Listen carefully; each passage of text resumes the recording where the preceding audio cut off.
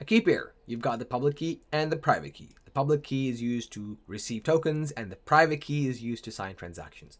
Together, they make up the key pair. You already knew this, and you've probably seen a bunch of these words like mnemonic or secret phrase or byte array or base 58 something. These are all just different formats of storing the private key. So they're used to represent the data in the private key in various formats.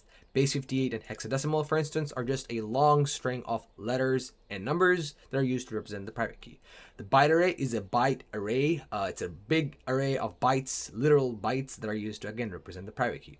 The secret phrase, the seed phrase, and the mnemonic, these are all the same things and they're often used interchangeably. This is a set of 12, 18, or 24 words. These are human readable words that you can remember. They're used to generate the private key. So this is all what I like to call key material. That's it. That's all they are. I'm going to show you how you can generate key pairs in each of these formats in JavaScript and then how you can load them in JavaScript. Before I get into that, I want to talk about something called a derivation path. So a derivation path is used with seed phrases to generate different key pairs. It looks something like this. Um, this is slightly advanced and you don't need to understand it, you don't need to know it, but just mentioning it because it might help. So the seed in the seed phrase comes from the fact that you can generate different private keys using one seed phrase. So if you have one set of 12 words, you can use that to generate dozens of key pairs. How does that work? Well, just like a tree, that's where you get the seed from uh, you've got different paths that you can go down to generate different key pairs. So this would be one key pair or one private key, and this would be another private key. So if you if I went down M1 and then M10, blah blah blah blah blah.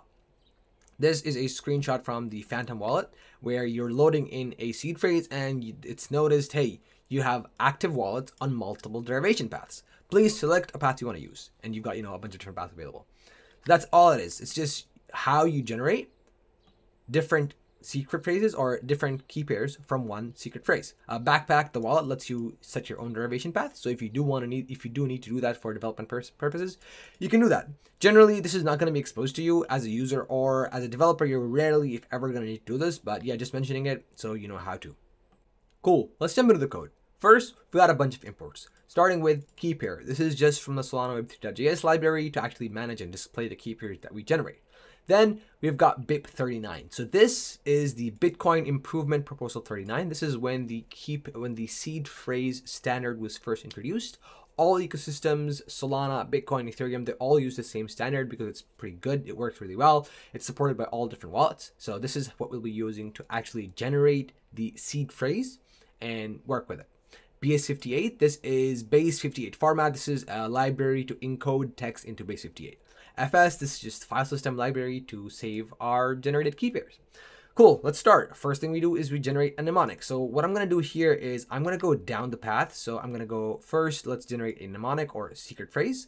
Then we're gonna turn that into a byte array, or we won't really, we won't really need to turn that into a byte array. This is the default format. So we're gonna go secret, secret phrase, then we're gonna go byte array, then we're gonna turn that into base 58, then hexadecimal. So first we've got the uh, base, sorry, the BIP39 seed phrase. We're going to print that out. Then we're going to turn that into a key pair. So, so the first 32 bytes of the seed are going to be used to generate a key pair. So this is from the Solana Web3.js library. We're just doing key pair dot from seed. So this is how we're taking the actual generated seed phrase and turning it into a key pair that we can use in code. Next, we're just going to print it out. Um, key pair dot secret key, and that is going to be the uint8 array. So uint8, this is the uh, byte array that I mentioned. So the format of the byte array is uint8. So it's going to be uint8 array, and it's going to be printed out.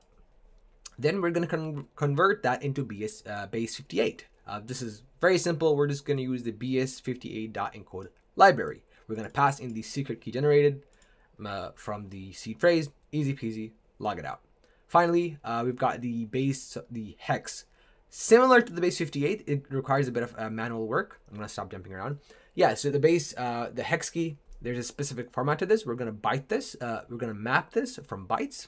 And this exact format, this is just how, how you uh, create hexadecimal strings. And that's going to be turned into a hexadecimal string. We're then just going to save it. Let's run this. All you got to do is do npm run generate. I've got a script here in package.json. So I've got the script loaded. You can also just type node generator.js. That works too. But I'm going to be a bit fancier and use the script. Haha. And what do we get? Uh, all right, let's easily run through this. First thing is a big int error. You can ignore this. This is fine. Then first thing we've got is the mnemonic race harbor share van cupboard. Cool. Then we turn that into a array or byte array. So this is what the byte array looks like. Then we've got the private key in base 58 format and then again in hexadecimal format. Dead simple. Easy as that. We're done.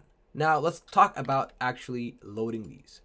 So for loading, we're going to need a bunch of the same stuff. Uh, I've got a few extra things like connection and uh, cluster. So this is just so we can display the balance of the key pair. Ignore this. BIP39, just like we needed it to generate the key pair, we're also going to need it to use uh, use it to load the key pair.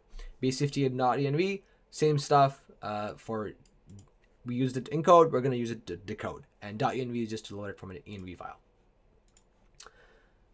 And the actual process for this is pretty straightforward. So we just go process.env for every single one of these. We do process.env, so we load it from the env file, and then there's a specific format, so uh, mnemonic to seed sync. So we've got the mnemonic, and we're going to turn it into a seed, and then we can log the key pair from the seed. So in this instance, I'm using every single key pair or every single env value to actually load it in.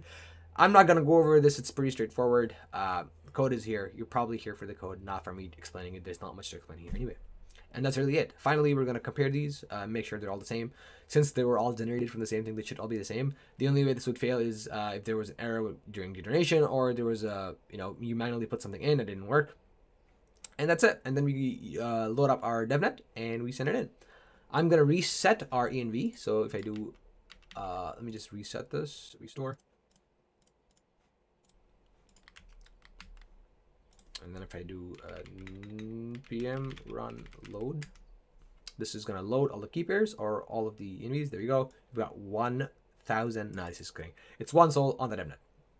Uh, this env file is committed, so it's on GitHub and you can check it out. The rest of the code is also on GitHub, including this explainer. Uh, very nice, very fancy.